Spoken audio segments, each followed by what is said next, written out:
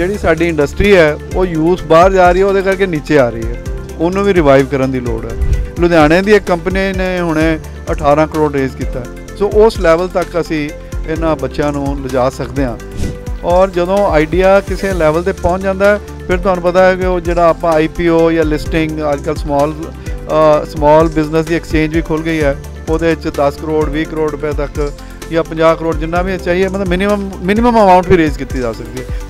और ये ਨਾਲ ਕੀ ਹੋਏਗਾ ਇੱਕ ਇਕੋਸਿਸਟਮ ਕ੍ਰੀਏਟ ਹੋਏਗਾ ਜਿਹਦੇ ਸਟਾਰਟਅਪਸ ਨੂੰ ਇਨਕਰੇਜਮੈਂਟ ਮਿਲੇਗੀ ਇਨਵੈਸਟਰ ਨੂੰ ਓਪਰਚ्युनिटी ਮਿਲੇਗੀ ਔਰ ਆਯੂਸ਼ ਵਰਗੇ ਮੈਂਟਰ ਹੈਗੇ ਸ਼ਹਿਰ ਦੇ ਵਿੱਚ ਜਿਹੜੇ ਇਹਨਾਂ ਬੱਚਿਆਂ ਨੂੰ आईसी एक ऑर्गेनाइजेशन है इंडियन एंटरप्रेन्योर कलेक्टिव और ये एक्सक्लूसिव लुधियाना में है, और जिसमें सौ से ज़्यादा प्रोफेशनल्स और बिज़नेस फैमिलीज़ जो लर्निंग पे फोकस और नेटवर्क पे फोकस है।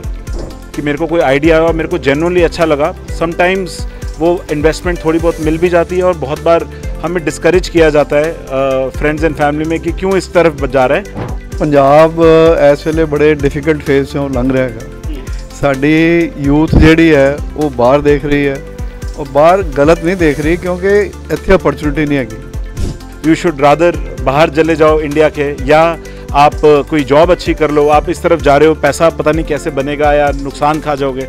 तो ये जो कॉन्फिडेंस है ये कॉन्फिडेंस के अंदर बहुत बड़ा डेफिसिट है जो स्टार्टअप्स को नहीं मिल पाता शुरू में और शुरू में आइडिया प्रॉपर एग्जीक्यूट होने से पहले ही वो बंदा अपनी होप छोड़ देता है ਇੱਕ ਤੇ ਜਦੋਂ ਆਪਾਂ ਇੱਕ ਆਈਡੀਆ ਨੂੰ ਕਨਵਰਟ ਕਰਦੇ ਹਾਂ ਬਿਜ਼ਨਸ ਪ੍ਰੋਪੋਜੀਸ਼ਨ ਵਿੱਚ ਉਹਦੇ ਵਾਸਤੇ ਸਾਨੂੰ ਬਹੁਤ ਸਾਰੀਆਂ ਫਾਰਮੈਲਿਟੀਆਂ ਕਰਨੀਆਂ ਪੈਂਦੀਆਂ ਜਿਹੜਾ ਕੰਪਨੀ ਕ੍ਰੀਏਟ ਕਰਨੀ ਹੈ ਜਾਂ ਐਂਟੀਟੀ ਕ੍ਰੀਏਟ ਕਰਨੀ ਹੈ ਤੇ ਜਿਹੜੀ ਨੈਕਸਟ ਇੰਪੋਰਟੈਂਟ ਗੱਲ ਤੁਸੀਂ ਕਹੀ ਹੈ ਕਿ ਫੰਡਿੰਗ ਕਿ ਆਈਡੀਆ ਤਾਂ ਹੈਗਾ ਪਰ ਫੰਡਿੰਗ ਨਹੀਂ ਹੈਗੀ ਔਰ ਆਈ- ਕਈ ਵਾਰੀ ਆਈਡੀਆ ਹੁੰਦਾ ਹੈ ਐਬਿਲਿਟੀ ਵੀ ਨਹੀਂ ਹੁੰਦੀ। ਸੋ ਅਸੀਂ ਦੋ ਫਰੰਟ ਤੇ ਕੰਮ ਕਰਾਂਗੇ ਕਿ ਉਸ ਬੰਦੇ ਨੂੰ ਜਿਹਦਾ ਆਈਡੀਆ ਹੈਗਾ, ਉਹਨੂੰ ਇਸ ਕਾਬਲ ਬਣਾਵਾਂਗੇ ਕਿ ਉਹ ਇਸ ਪ੍ਰੋਜੈਕਟ ਨੂੰ ਸਕਸੈਸਫੁਲੀ ਇੰਪਲੀਮੈਂਟ ਕਰ ਸਕੇ। ਤੇ ਉਸ ਤੋਂ ਬਾਅਦ ਫੰਡਿੰਗ ਫੰਡਿੰਗ ਦੇ ਸਾਡੇ ਕੋਲੋਂ ਹੁਣੇ ਹੀ ਮੈਂਸ਼ਨ ਕੀਤਾ ਕਿ ਇੱਕ ਤੇ ਲੁਧਿਆਣਾ ਐਂਜਲ ਨੈਟਵਰਕ ਬਣਾ ਰਹੇ ਹਾਂ। ਲੁਧਿਆਣਾ ਐਂਜਲ ਨੈਟਵਰਕ ਜਿਹੜਾ ਹੈ, ਉਹ ਇਨਵੈਸਟਰਸ ਦਾ ਫੋਰਮ ਹੈ, ਜਿਹਦੇ ਵਿੱਚ ਇਨਵੈਸਟਰਸ ਜਿਹੜੇ ਹੈ, ਉਹ, ਉਹਨਾਂ ਦੇ ਸਾਹਮਣੇ ਅਸੀਂ ਆਈਡੀਆ ਪਿਚ ਕਰਾਂਗੇ। ਤੇ ਉਹ ਉਹਨੂੰ ਆਈਡੀਆ ਨੂੰ ਸਪੋਰਟ ਕਰਨਗੇ ਔਰ ਫੰਡ ਕਰਨਗੇ। ਸਾਡੇ ਉੱਥੇ ਸੈਂਟਰ ਇਨਕੂਬੇਸ਼ਨ ਸੈਂਟਰ ਵੀ ਹੈ ਐਕਸਪਰਟ ਵੀ ਹੈਗਾ ਔਰ ਬਰਮਿੰਗਮ ਸਿਟੀ ਯੂਨੀਵਰਸਿਟੀ ਦੀ ਬੈਕਿੰਗ ਵੀ ਹੈ, ਜਿਹਦੇ ਨਾਲ ਅਸੀਂ ਪੂਰੀ ਸਪੋਰਟ ਗਲੋਬਲ ਲੈਵਲ ਤੱਕ ਪ੍ਰੋਵਾਈਡ ਕਰ ਸਕਦੇ ਹਾਂ।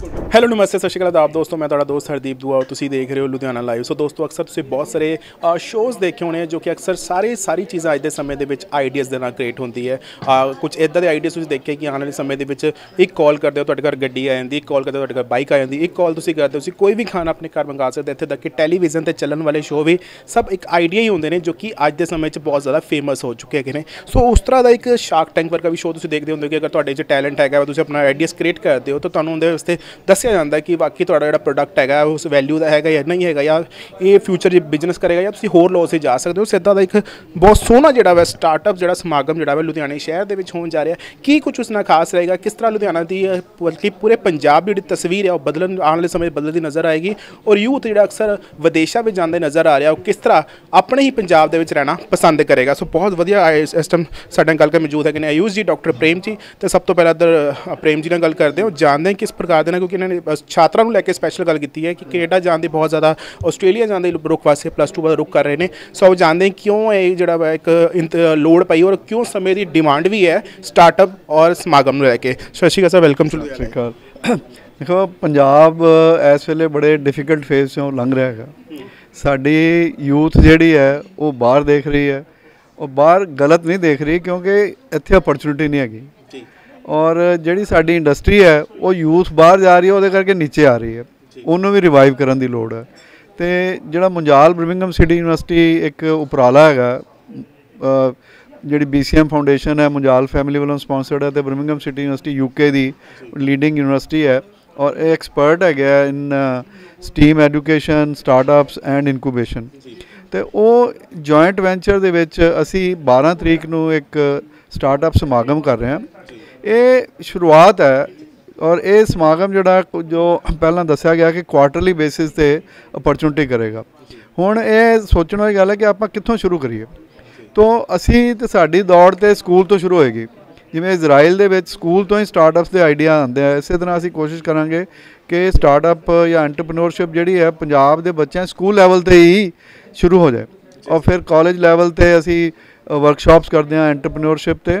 ਤੇ ਆਈਡੀਆ ਇਹ ਹੈਗਾ ਕਿ ਕਿਸੇ ਵੀ ਬੰਦੇ ਕੋਲੋਂ ਲੁਧਿਆਣੇ ਦੇ ਵਿੱਚ ਖਾਸ ਕਰਕੇ ਜਿੱਥੇ ਅਸੀਂ ਆਪਰੇਟ ਕਰਦੇ ਹਾਂ ਕਿ ਕੋਈ ਵੀ ਆਈਡੀਆ ਹੋਵੇ ਜਿਹੜਾ ਜਿਹਨੂੰ ਕਮਰਸ਼ੀਅਲਾਈਜ਼ ਕੀਤਾ ਜਾ ਸਕੇ ਜਿਹਦੇ ਚੋਂ ਵੈਲਥ ਕ੍ਰੀਏਟ ਕੀਤੀ ਜਾ ਸਕੇ ਜਾਂ ਸੁਸਾਇਟੀ ਨੂੰ ਵੈਲਿਊ ਐਡ ਕੀਤੀ ਜਾ ਸਕੇ।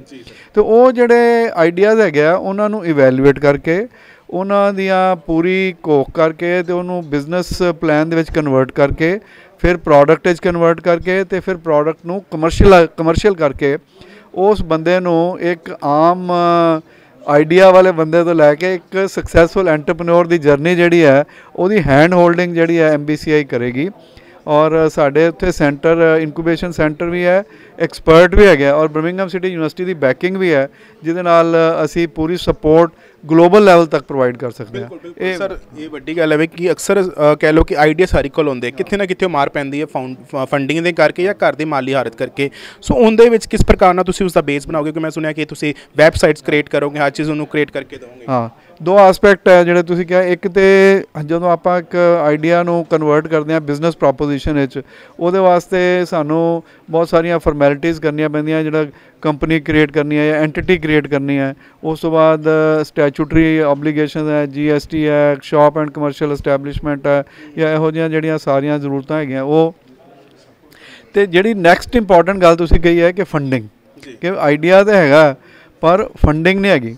ਔਰ ਕਈ ਵਾਰੀ ਆਈਡੀਆ ਹੁੰਦਾ ਹੈ ਐਬਿਲਿਟੀ ਵੀ ਨਹੀਂ ਹੁੰਦੀ।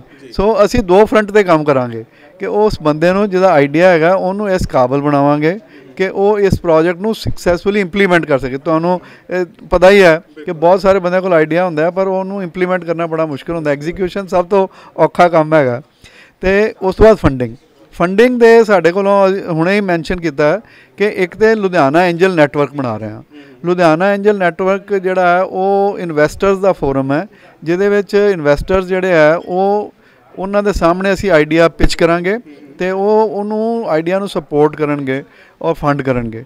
ਦੂਜੀ ਫੰਡਿੰਗ ਜਿਹੜੀ ਹੈ ਗਵਰਨਮੈਂਟ ਏਜੰਸੀਜ਼ ਤੋਂ ਵੀ ਮਿਲਦੀ ਹੈ ਸੀਡ ਫੰਡਿੰਗ ਹੈ, ਜਿਹੜੇ Punjab council of science and technology ਉਹ ਵੀ ਸੀਡ ਫੰਡਿੰਗ ਕਰਦੀ ਹੈ ਡੀਐਸਟੀ ਵੀ ਸੀਡ ਫੰਡਿੰਗ ਕਰਦੀ ਹੈ, ਹੋਰ ਏਜੰਸੀਜ਼ ਵੀ ਜਿਹੜੀਆਂ ਉਹ ਗਲੋਬਲ ਏਜੰਸੀਜ਼ ਵੀ ਸੀਡ ਸੀਡ ਫੰਡਿੰਗ ਹੋ ਸਕਦੀ ਹੈ।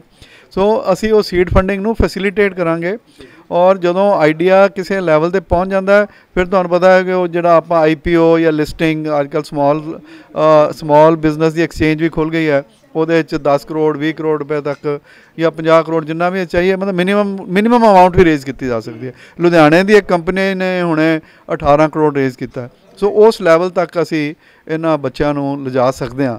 ਔਰ ਇਹਦੇ ਨਾਲ ਕੀ ਹੋਏਗਾ ਇੱਕ ਇੱਕ ਇਕੋਸਿਸਟਮ ਕ੍ਰੀਏਟ ਹੋਏਗਾ ਜਿਹਦੇ ਸਟਾਰਟਅਪਸ ਨੂੰ ਐਨਕਰੇਜਮੈਂਟ ਮਿਲੇਗੀ ਇਨਵੈਸਟਰ ਨੂੰ ਓਪਰਚੁਨਿਟੀ ਮਿਲੇਗੀ ਔਰ ਆਯੂਸ਼ ਵਰਗੇ ਮੈਂਟਰ ਹੈਗੇ ਸ਼ਹਿਰ ਦੇ ਵਿੱਚ ਜਿਹੜੇ ਇਹਨਾਂ ਬੱਚਿਆਂ ਨੂੰ ਟ੍ਰੇਨ ਕਰ ਸਕਦੇ ਸਰ ਇਦਾਂ ਲੱਗੇ ਕਿ ਕਿਹਾ ਜਾਂਦਾ ਕਿ ਘਰ ਦੀ ਚੀਜ਼ ਘਰੇ ਹੀ ਰਹਿ ਜਾਏਗੀ ਜਿਹੜੇ ਬੱਚੇ ਇੱਥੋਂ ਪੜਨਗੇ ਪੜ ਕੇ ਉਹ ਵਿਦੇਸ਼ਾਂ ਵੱਲ ਨਹੀਂ ਜਾਣਗੇ ਬਲਕਿ ਆਪਣੇ ਸ਼ਹਿਰ ਵਾਸਤੇ ਆਪਣੇ ਸਟੇਟ ਵਾਸਤੇ ਕੰਮ ਕਰਨਾ ਸ਼ੁਰੂ ਕਰ ਦੇਣਗੇ।